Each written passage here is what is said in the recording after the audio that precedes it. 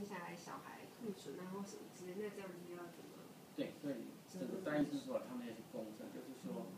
呃，你讲的，就是为什么说代生之法一直是没有通过，就是它这个过程里面，